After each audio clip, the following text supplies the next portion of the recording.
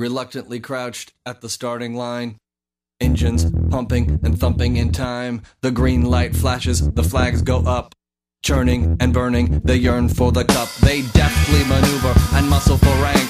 Fuel burning fast on an empty tank. Reckless and wild, they pour through the turns. Their prowess is potent and secretly stern. As they speed through the finish, the flags go down. The fans get up and they get out of is empty, except for one man still driving and striving as fast as he can. The sun has gone down and the moon has come up. And long ago somebody left with the cup. But he's driving and striving and hugging the turns and thinking of someone for whom he still burns. He's going the distance. He's going for